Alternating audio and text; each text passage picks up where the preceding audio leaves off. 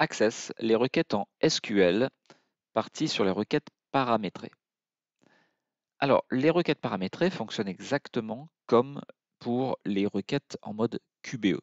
Le principe reste le même, il suffira de mettre la question, de poser la question entre crochets. Prenons un exemple.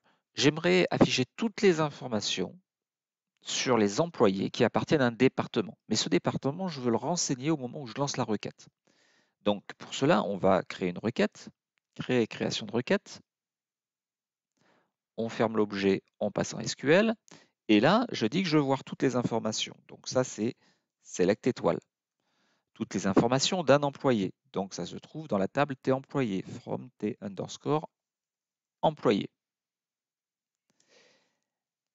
Et je ne veux pas voir toutes les informations sur tous les employés, mais seulement ceux qui sont sur un département. Donc si par exemple je voulais voir les informations des employés du département 10, je mettrais where nodep égale 10. Donc là je vais mettre where nodep égale, et au lieu de mettre 10 entre guillemets, comme je le faisais pour un champ texte, je vais placer entre crochets ma question. Donc je vais ouvrir, donc where nodep égale, ouvrez les crochets, entrer un numéro de département. Si je tape 10, j'aurai toutes les informations sur les, gens du département 10. Si je tape 20, j'aurai toutes les informations du département 20. On va voir, alors on va peut-être quand même le classer, hein, order by euh, non-amp. Comme ça au moins j'aurai un classement alphabétique des employés. On va exécuter la requête.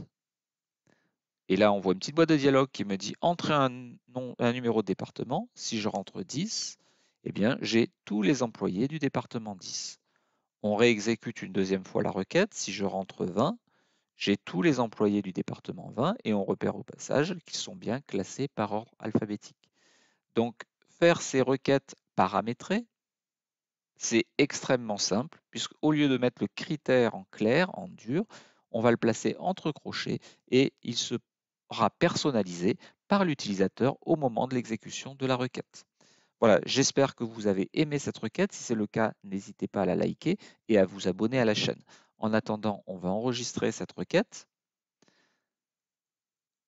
On va lui donner le nom de R underscore P